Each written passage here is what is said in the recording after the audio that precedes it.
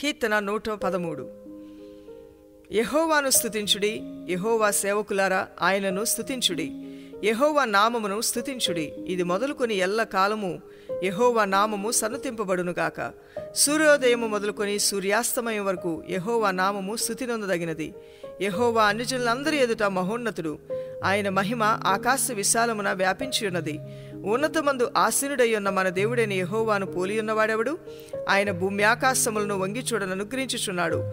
ప్రధానులతో తన ప్రజల ప్రధానులతో వారిని కూర్చుండబెట్టుడికై ఆయన నేల నుండి దరిద్రులను లేవనెత్తువాడు. పెంట కుప్ప మీద నుండి బేదలను పైకెత్తువాడు. ఆయన సంతులేని దాన్ని ఇల్లాలుగాను కుమారుల సంతోషము గల తల్లిగాను చేయును. యహోవాను స్థుతించుడి కీర్తన నూట పద్నాలుగు. ఐగుప్తులో నుండి ఇజ్రాయేలు అన్య భాష గల జనముల్లో నుండి యాకోబు బయలు వెళ్ళినప్పుడు యూదా ఆయనకు పరిశుద్ధ స్థలమాయను ఇజ్రాయేలు ఆయనకు రాజ్యమాయను సముద్రము దాన్ని చూచి పారిపోయిను యోద్ధాను నది వెనుకకు మళ్ళెను కొండలు పొట్టేళ్ళ వలను గుట్టలు గొర్రెపిల్లల వలను గంతులు వేసెను. సముద్రమా నీవు పారిపోవుడుకు నీకేమి తటస్థించినది? యోద్ధాను నీవు వెనుకకు మల్లుడుకు నీకేమి తటస్థించినది? కొండలారా మీరు పొట్టేళ్ళ వలను గుట్టలారా మీరు గొర్రెపిల్లల వలన గంతులు వేయుటకు మీకేమి సంభవించినది?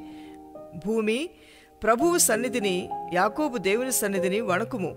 ఆయన బండను నీటి మడుగుగాను చెకుముకి రాతి బండను నీటి ఊటలుగాను చేయువాడు.